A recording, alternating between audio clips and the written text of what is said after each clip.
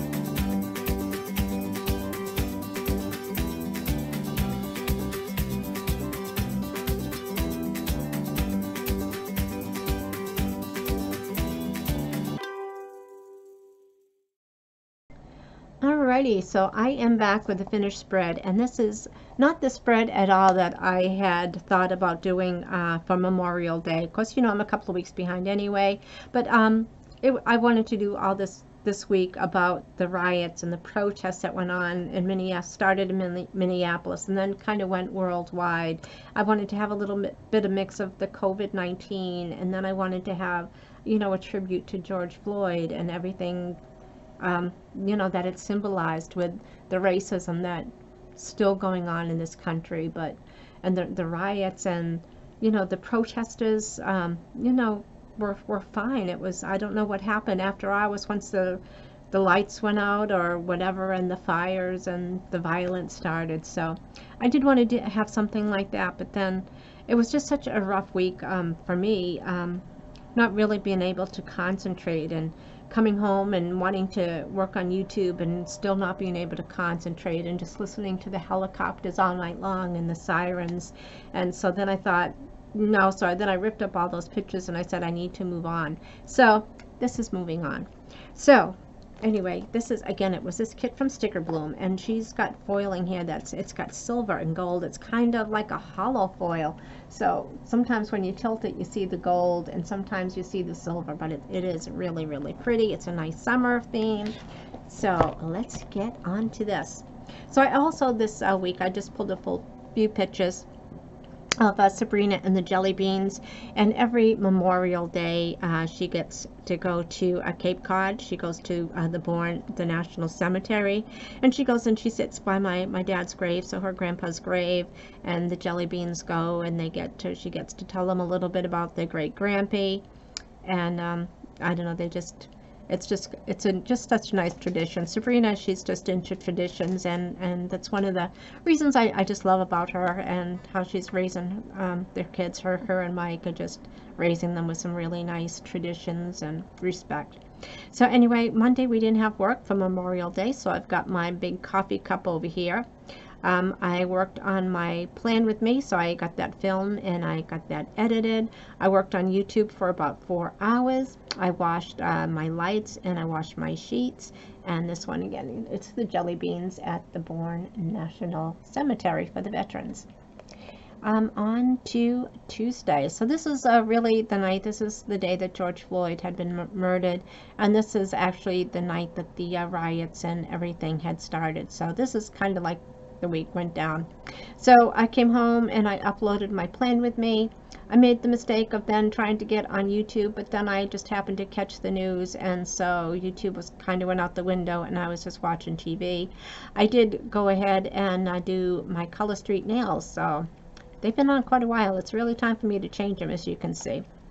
On to Wednesday so Wednesday it was I, I went to work and I came home and that's all I did was uh, watch the riots and the protesting on TV you know not only from Minneapolis but from all over where it was really starting to spread. I put that little coffee cup there because it was it was a night of coffee and not sleeping listening to the helicopters and the sirens all night long. And I'm about 30, 30, 35 minutes away, so I'm, I'm not right in the heart of the city, but I think every town around me was headed to the city to try to do what they could do to help. So anyway, on to Thursday. So because Wednesday was a, uh, Monday was the holiday, my trash got moved to Thursday. So I've got my, my little trash girl. It was trash and recycle. Um, when I got home from work, I just didn't feel like coming home and making something help, healthy. So what did I do? I made a bad, bad choice. I went to McDonald's. I got a Big Mac. I got large french fries and an extra large coffee. So yeah I was up all night. Um, but I did have happy mail when I came home. I got the uh, some tops that I had ordered from Evereve so they were in. And again that's uh, the jelly beans at the cemetery. And it was a few years ago when um, another volunteers go out and they put those flags out on every stone. And it's just so nice and uh, so Tori Pie and Aiden are actually saluting the veterans just nice that they're growing up and Sabrina's teaching them all that respect. So I'm really, really proud, proud of her. So here it is Friday. So I got my Friday girl.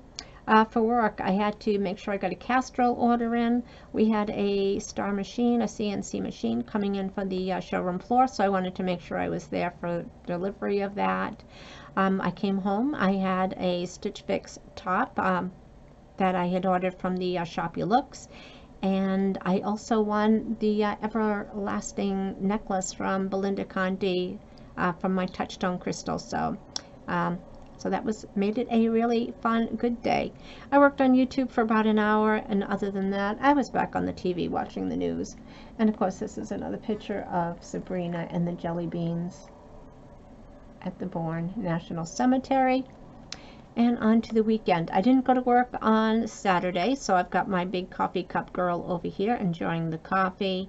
I'm excited. We had a couple of hot days this week, so I thought it was time to take off my thick, thick, warm, cozy blanket sheets, uh, get them washed again, and I put in, uh, put on my summer sheets. So they're nice and cool, but I really miss my cozy, cozy, warm blanket sheets. Um, I had margaritas by the campfire, and other than that, I, I took my uh, laptop out and I was just kind of watching the uh, riots and protests on TV while I sat around the fire and listened to the sirens. On to Sunday, so again, just a, not a good concentrating day, so I've got my coffee cup girl over here. I decided to go into work anyway since I just wasn't very productive around the house, so I went to work about 10, um, and I came and worked till about 2 o'clock. I worked on YouTube for about two hours, but that was it. I was uh, back on the TV watching the news. And of course, it's a more recent one. This is actually from this year of Sabrina and the Jelly Beans. I wish it would focus better.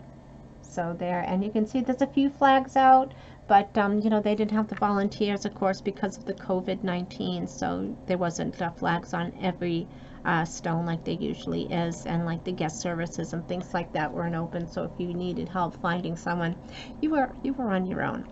So anyway I got this little uh, picture here just for Memorial Day so to remember and honor I started the week at 110 and I finished the week at 109.6 I didn't do any exercising this week other than the four days yeah four days on the elliptical and just uh, the Fitbit I didn't work on my Pilates. I didn't do the treadmill.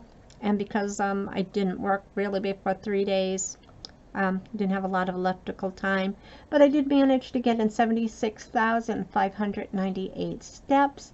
I had pedaled for 19.95 hours and uh, 30.63 miles. My Fitbit steps were 46,156. So again, this is my finished week. It's not exactly how I planned it to, to be, but I'm still happy with the way it came out. I've still got some good memories here. You know, I've got the uh, the jelly beans and Sabrina and the cemetery um, where, you know, I'm eventually going to be someday. So, um, not that I really want to think about that yet. But anyway, and I did get some happy mail. I had Evereve. I won the uh, that everlasting necklace, which I, I really, really love. So I guess I you have to kind of take the good with the bad. Not really the good way to say that, but um, anyway, and it's just just such a such a strange time, and um, you know, I, I think of the newscasters when you know we were young and we had Walter Cronkite and some of the others, and um, you didn't get their opinions. You got you got honest, you got honesty, integrity, you had the news. And today everything is just sensationalized and the reporters um it's their opinions. It's not necessarily the news or what happened, it's their opinions and it's just hard to believe anymore what's what's true, what's fake news and you know, and that's part of just um I guess the times we're in that everybody's got an opinion and you know sometimes you just kind of wish for the old days and just a straight honest newscast with a reporter that you can trust what they're saying instead of you know the news being you know sensationalized and made for ratings and certain stories get picked and certain stories don't and I don't know it's it was a, a really sad week. Um, not not for me, but for oh my gosh, so many people that this this involved, and you know the families um, of everyone that was injured, and the families that lost everything from the fires and the protest. I mean, you know, they went after the small mom and pop shops to put them out of business, which they probably won't be able to ever rebuild again. Um, you know, the uh, I don't know, the uh, family of George Floyd, I mean, his, you know, extended family here and his family back in Texas, what they must be going through. And, um, you know, for the officers involved, you know, what are their families, you know, how are they coping with this and what's happening now with the police departments where they're actually, you know, like being attacked um, and, you know, five or six people just ganging up on them from behind. So it's, it's just a really, a really strange time we're going through. It would be nice to say, and I hate to say this, but it would be nice if this was the one that was the straw that broke the camel back and racism was gone forever and police brutality was gone and people were respectful and you know, I don't know if that's going to happen in my lifetime, but you know, it's something to strive for. It's something to hope for. It's something we need to, you know, teach our kids to be respectful and you know, and go from there, I guess. But anyway, I'm starting to ramble, so I just wanted to thank everyone for joining me. Um, I'd love to hear your comments and your suggestions, and I hope that in spite of everything that I just said, you know, that everybody goes out, has a fantastic week. A lot of the businesses are opening up, so just remember to stay safe, keep your distance, but go out, have fun. We all have lives to live. Let's let's start doing it. Okay, we'll chat again soon, everybody. Bye bye.